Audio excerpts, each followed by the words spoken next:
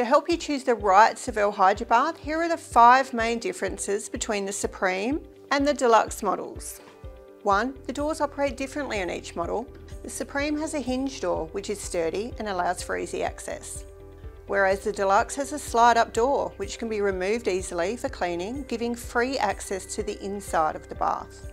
The hinge door also makes it easier when handling young or nervous dogs, as you can simply close the door rather than raising it into position. 2. The Supreme model is a wider bath at 81 centimetres, making it more suitable for larger dogs compared to the Deluxe model, which measures in at 72 centimetres, allowing it to fit through standard doors. 3. On the Supreme, we find a white gel coating, which is smooth, making the bath easier to clean. 4. The Supreme has a curved front, which allows the groomer to get closer to the dog while grooming.